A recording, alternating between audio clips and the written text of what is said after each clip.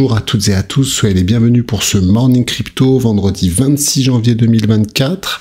On a décidé pour ce morning de vraiment mettre les petits plats dans les grands, vous allez voir. Je pense que ça mériterait un maximum de likes. On fait de la macroéconomie, un peu d'analyse boursière les toutes dernières actualités et en particulier je vais vous expliquer pourquoi l'ETF Ethereum va faire les, les, cryptos le jour où il sera accepté.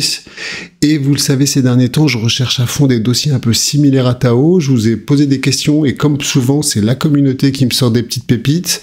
Je vous fais une analyse d'un dossier justement dans le secteur de l'IA on terminera par ça pour commencer, bien évidemment, on va parler de la Banque Centrale Européenne. On le savait, hein, bien évidemment, là, ils allaient maintenir les taux. Un peu comme la semaine prochaine, il y aura la, banque, la, la Fed qui va aussi faire sa réunion, il y aura un statu quo. Ce qui est intéressant, c'est le discours. Et là, j'ai envie de dire, rien de nouveau sous le soleil. Maintenant, ça a rassuré en particulier les marchés boursiers. Les taux sont au même niveau qu'ils étaient, euh, voilà, ils n'ont pas bougé.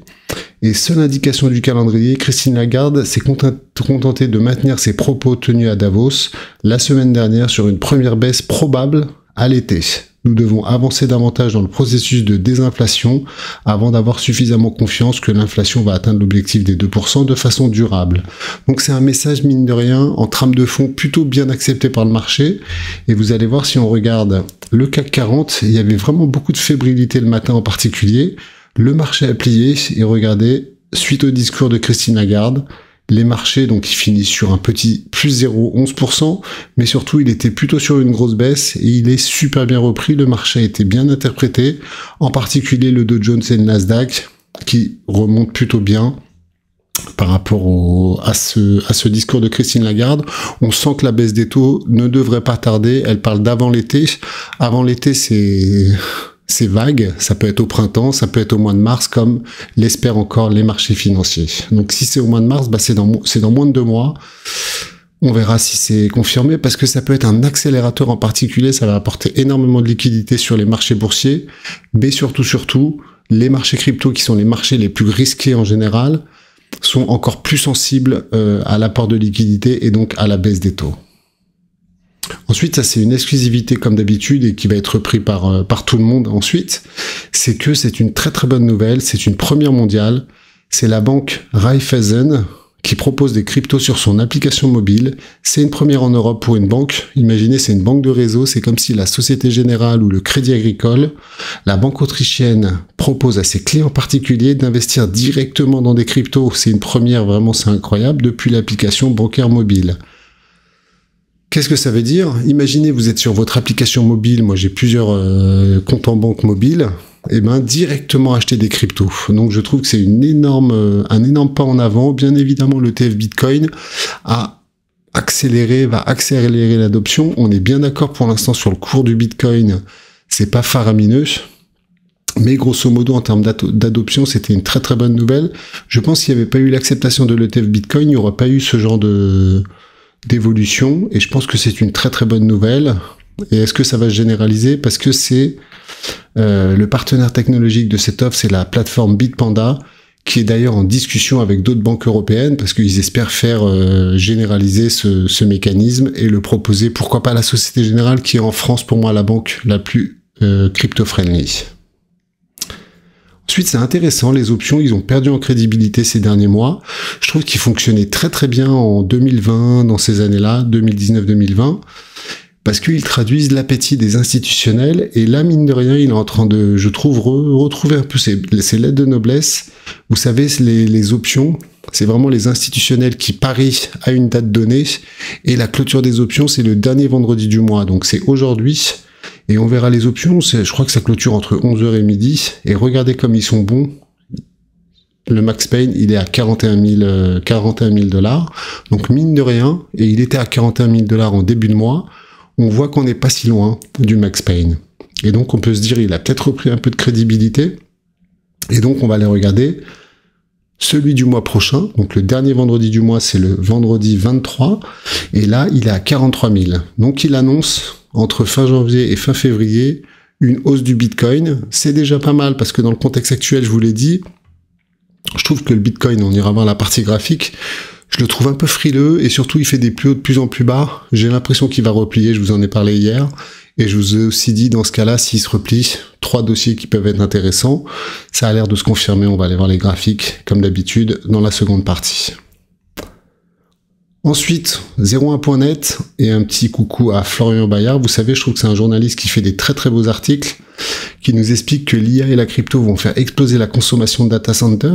En particulier, bien évidemment, et je suis le premier à en parler, je cherche comment investir dans le minage de Bitcoin.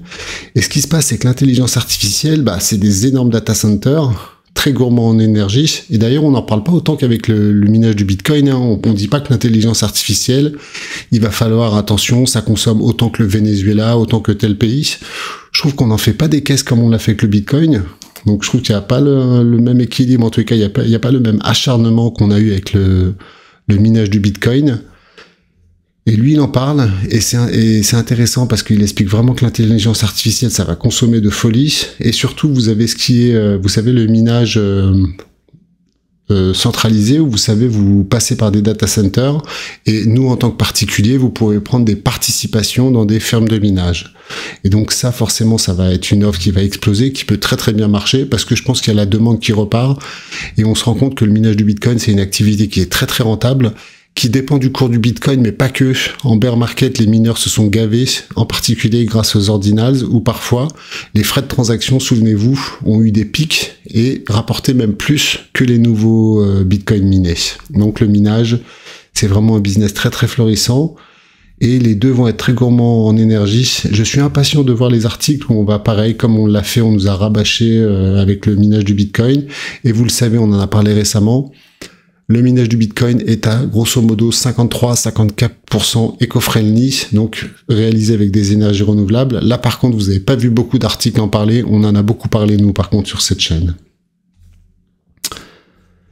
Ça, c'est un truc assez fou. On en a parlé hier. C'est Bitwise qui s'est vraiment attiré euh, la sympathie du, milieu des cryptos. C'est assez dingue. Ils ont communiqué ouvertement leur, euh, leur adresse. Et incroyable, ils ont reçu des milliers de donations en quelques heures et incroyable, ils ont reçu, vous savez, des, des ordinals et en plus des ordinals assez rares. Donc c'est vraiment euh, complètement bénéf pour Bitwise. Je crois que je vais faire une demande moi aussi d'un ETF Bitcoin, même si j'ai pas beaucoup de chance de l'avoir, mais je vais tenter ma chance et je vais communiquer pareil ma, mon adresse Bitcoin. On verra si je vais recevoir. Peut-être que c'est le, business du moment de faire comme l'a fait Bitwise, mais c'est assez fou quand même, comme quoi la, la, communauté peut surprendre des milliers de donations en quelques heures pour, euh, pour Bitwise. Ensuite, ça c'est intéressant, c'est qu'il y a eu pour la première fois, euh, par rapport à le Bitcoin ETF, il y a eu énormément d'achats des, des 11 principales, sauf qu'en face, il y avait Grayscale qui vendait. Mais il y avait tellement d'achats, en particulier de BlackRock et de Fidelity, que ça venait compenser jusqu'à aujourd'hui les ventes de Grayscale. Ce qui se passe, c'est que les ventes d'ETF euh, Bitcoin, euh, Grayscale ont légèrement baissé. Par contre, forcément, à un moment donné, les achats de Bitcoin ETF, euh, BlackRock et Fidelity vont commencer à baisser. Hein. Ils vont pas en acheter 500 millions de dollars euh, tous les jours. Et donc, malheureusement, le trend commence à être négatif pour la première fois depuis le lancement. Est-ce que ça va faire plier le Bitcoin? Je pense qu'à court terme, ce qu'on va attendre, bien évidemment, de manière très frileuse, on attend la fin des ventes euh, de Grayscale, parce qu'à un moment donné, euh, BlackRock et Fidelity n'avaient pas n'avaient pas prévu de passer des jours et des jours à acheter des ETF juste pour compenser les ventes de, de GBTC. Et donc on va voir ce qui va se passer. Peut-être que c'est là que ça va décrocher un peu sur le Bitcoin justement, parce que malheureusement Grayscale continue à vendre un peu moins. Je crois que c'est 500 millions hier, mais c'est quand même des montants assez dingues encore euh, de GBTC. On, on comprend pas trop ce qu'ils veulent faire en fait finalement. Et ça justement, on va parler le dossier spécial, l'exclusivité de ce, de ce journal. C'est que grosso modo, on nous explique que l'ETF Ethereum a beaucoup de chances d'arriver bientôt. L'équivalent du 10 janvier, c'est le 23 mai, et même si c'est pas le 23 mai, il y a pas mal d'échéances entre mai et le mois d'août justement, mais un peu comme le TF Bitcoin, l'équivalent du 10 janvier c'est le 23 mai, donc mine de rien c'est dans 4 mois. Ça pourrait assez vite, ça pourrait venir assez vite, surtout que vous savez il y a BlackRock dans la partie, et BlackRock en général vous le savez, ce sont les champions du monde. Je crois que dans leur histoire, BlackRock a eu un seul refus ETF et c'était pour des raisons assez troubles. Ils ont eu un seul refus depuis qu'ils lancent des ETF. Ce sont les champions du monde de l'ETF. Et donc, si BlackRock lance un ETF, dites-vous que les chances qu'il y ait un ETF, c'est quasiment de 100%. Est-ce que ça sera en 2024 Par contre, je n'ai aucune garantie. Mais par rapport au calendrier, si on, projette le calendrier d'Ethereum par rapport à celui de Bitcoin, avant l'été et peut-être euh, le 23 mai. On va suivre ça, bien évidemment. Alors la petite analyse, la petite spécialité de la maison, c'est que on va prendre les devants. Imaginez le 23 mai, il y a l'acceptation. Déjà, il y aura un buy the rumor, ça veut dire que dans les prochains mois, potentiellement, il peut avoir une belle perte de, belle perte de. Mais par contre, on s'est fait avoir une fois sur le Bitcoin, on va pas se faire avoir une deuxième fois. Et moi, ce que j'aime bien, c'est prendre les devants sur ce genre de dossier et vous montrer des choses. C'est qu'aujourd'hui, le ETHE, c'est l'équivalent du GBTC sur le Bitcoin, le Grayscale Ethereum Trust. Regardez, les frais sont de 2,5. Donc grosso modo, même si l'ETF Grayscale était accepté, l'ETF Ethereum, eh ben, on serait un peu comme leur, euh, leur, euh, leur, euh, leur ETF euh, Bitcoin, on aurait peut-être des frais entre 1,5 et 2,5. Et ce qui est fou, c'est que regardez, un peu comme sur le Bitcoin, ils en ont 310 millions des Ethereum, ça représente 6,5 milliards. Donc est-ce que ça va pas être bis repetita? Honnêtement, je le pense de plus en plus. Le jour où il y aura l'ETF sur Ethereum, Grayscale va encore nous dumper tous ces, tous ces, tous ces Ethereum, parce que tout simplement, qu'est-ce que va faire BlackRock? BlackRock, je pense que c'est complètement voulu, c'est un peu pour euh, ringardiser Grayscale. Ils vont encore nous mettre des frais à 0,203 et peut-être que même pendant 6 mois, il y aura pas de frais comme ils l'ont fait sur le, le TF Bitcoin. Et donc, c'est ce qui me fait dire que malheureusement, l'Ethereum, on va se faire dumper des Ethereum euh, sur la tête dès qu'il y aura l'acceptation. Et qu'est-ce qui se passe? C'est que l'Ethereum, c'est la mère de toutes les altcoins. Et ben potentiellement par effet de cascade, ça aura un impact sur toutes les altcoins. Donc pour moi, je prends les devants maintenant par rapport à ce qui s'est passé. On s'est fait avoir une fois. L'idée, c'est pas de se faire avoir deux fois par rapport à l'Ethereum et sur l'impact négatif que ça pourrait avoir. On criera pas victoire s'il y a l'ETF euh, Ethereum. Je suis presque à me demander si je souhaiterais pas peut-être qu'il soit pas accepté encore et qu'il nous laisse déjà digérer et voir comment ça va se passer avec l'ETF Bitcoin. Ça, c'est plutôt une bonne nouvelle. C'est grosso modo, vous savez, en ce moment au niveau des... Donc, ça s'appuie beaucoup sur Binance. Et c'est grosso modo, vous avez des blocs d'acheteurs de, Bitcoin en ce moment qui sont au plus haut de 3 ans quand même autour des 40 000. Donc légèrement euh, sur les cours euh, du moment. Autour des 40 000, il y a des énormes achats qui sont prêts à être déclenchés, légèrement en dessous le cours du moment, sous les 40, euh, sous les 40 000 dollars pour le Bitcoin. C'est plutôt un élément, j'irai pas bullish, mais au moins en termes de support, ça définit un énorme support autour des 40, légèrement autour des 40, entre 38 et 40. Ça, c'est plutôt une bonne nouvelle à, avoir en tête. En termes d'actualité, je voulais parler de Charles Kinson et de Ada Cardano. Je pense que Cardano peut surfer aussi un peu sur ce qui s'est passé sur Solana, parce qu'il faut pas oublier qu'on regarde les statistiques, en, particulier sur euh, l'activité de développement et tout ça. Et eh ben Cardano, ça a toujours été l'une des, des blockchains, et en particulier Layer One, mais quelles que soient les typologies de blockchain, les plus actives en termes de développement. Si vous allez sur GitHub, ils sont numéro un en termes de dynamisme autour de Cardano je pense que bon après il parle de sa blockchain donc il va pas dire que c'est la loose complète sur la blockchain mais il prédit une bonne année et moi je pense que Cardano en 2024 2025 pourra surprendre euh, pas mal de monde. Donc au niveau des marchés, c'est pas fameux, c'est pas exceptionnel. On a Chili's qui nous fait un pump euh, un peu sorti de nulle part, et ça fait quand même plaisir. On a le Bitcoin qui résiste légèrement, mais rien d'exceptionnel, légèrement sous les 40 000. L'Ethereum, il se passe pas grand chose et on voit qu'il y a une espèce de stabilisation, un peu mollasson ce qui se passe sur les marchés. Quand on regarde le Bitcoin, je vous en parle depuis quelques jours, je le sens pas très bien. Je vous l'ai dit, je vous ai dit sincèrement, regardez, plus haut, plus haut, plus bas, plus haut, plus bas, et ici on voit bien une saturation, je vous le donne dans le mille. Qu'est-ce qui va se passer? On va encore faire un plus haut plus bas qu'ici et on va aller encore un peu plus au sud. À combien on va s'arrêter, j'en sais absolument rien mais je pense que le, cours classique c'est 38 000 et si ça tient pas, bah, on ira valider les 32 000. Et comme je vous en ai parlé il y a quelques semaines, on a explosé et potentiellement il faudra aller chercher du jus autour des 32 34 000 sur le Bitcoin tout simplement malheureusement. Au niveau de l'Ethereum, patatras, c'est en train de chuter. Donc pour l'instant, ils sont pas en train de, de buy the rumeur par rapport à l'ETF Ethereum, ça c'est sûr. Mais ça peut être une surprise. On verra ça entre maintenant et le mois de mai euh, sur Ethereum. Par rapport à Tao, c'est complètement fou ce qui s'est passé, et c'est la leçon, j'en ai beaucoup parlé ces dernières semaines, c'est quand vous avez des replis, même en bull market, imaginez, vous êtes on était à 400, on est allé chercher exactement moins 50% avant d'aller rebondir, et ce qui est fou, c'est que sur 50%, on a presque fait 100%, regardez, on est allé chercher ici les 380, après la mèche, elle est vraiment dégueulasse en quotidien, mais on est presque allé chercher les plus hauts qu'on allait chercher ici, c'était euh, mi-décembre. Donc assez dingue moins 50%, explosion, on est allé presque chercher ici, et bien évidemment, ceux qui ont regretté de ne pas avoir vendu ici, bah, ils ont vendu ici. Voilà, beaucoup de gens impatients, ça fait ce genre de bougie rouge, je pense qu'il y a une nouvelle dynamique qui est en train de se lancer, et normalement, comme dans une phase classique, on en a beaucoup parlé, 1, ça c'est un 2, et le 3, normalement, on ira chercher plus haut. Et vous le savez, on en reparlera. Si on explose allègrement les 500, à titre personnel, et pour moi, c'est de la bonne gestion. Je prendrai un peu de bénéfices parce que mon cours moyen, c'est autour des 40 dollars. Et je pense qu'à 500, bah, on commence à faire des belles performances. Je vous dirai exactement, mais je pense que je vendrai une petite vingtaine de pourcents de mes, de mes Tao. J'en ai pas mal en stock. Surtout que tous les mois, j'en accumule 3 euh, par mois, tout simplement depuis, depuis 8 mois. Au niveau du stacking. Donc après RNDR aussi, pareil. Moi, RNDR comme Tao.